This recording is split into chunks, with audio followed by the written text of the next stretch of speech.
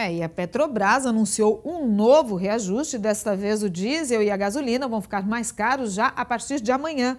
O reajuste é de 14,2% para o diesel e de 5,2% para a gasolina.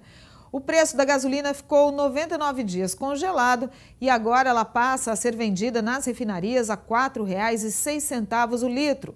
Já o diesel está sem aumento há 39 dias e passa a custar R$ 5,61 o litro nas refinarias.